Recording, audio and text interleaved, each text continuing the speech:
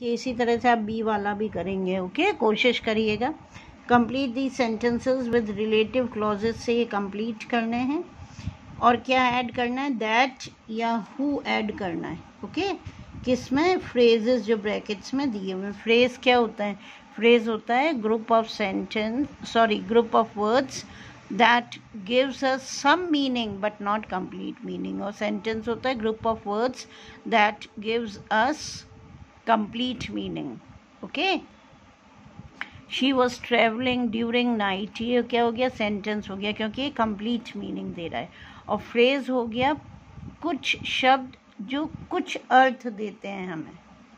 समझ में आया? ड्यूरिंग सो फ्रेजेस क्या हो गए? ड्यूरिंग नाइट ओके इसका मतलब कुछ अर्थ हमें मिलता है कंप्लीट नहीं मिलता। जैसे ब्रैकेट में दिए गए क्या है? फ्रेजेस हैं ग्रुप ऑफ़ वर्ड्स हैं, जो हमें कुछ मीनिंग देते हैं। तो इनको किससे ऐड करना है? दैट या हु से, है ना? हु किसके लिए होगा बेटा? पर्सनस के लिए और नॉन लिविंग थिंग्स के लिए क्या आ जाएगा? दैट आ जाएगा। They live in a city अब ब्रैकेट में the city is in the south of island इसको आपको जोड़ना है। दैट लगाकर that is in the south of island they live in a city okay अब दैट काम करेगा नाउन का। द सिटी तो ऑलरेडी मैंशन है तो इसको हटा देंगे हम। They live in a city that is in the south of Ireland. We broke the typewriter okay?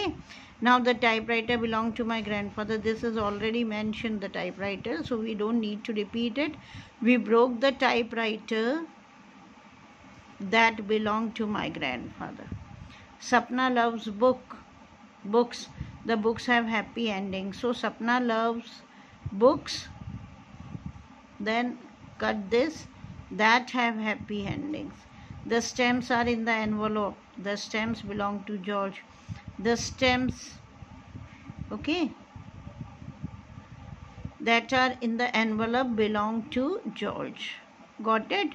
Or the stems are in the envelope that belong to george. Ki jagah the stems that are in the envelope belongs to george my brother work for a man अब यहाँ who आएगा? Man की बात हो रही है ना? कौन सा आदमी?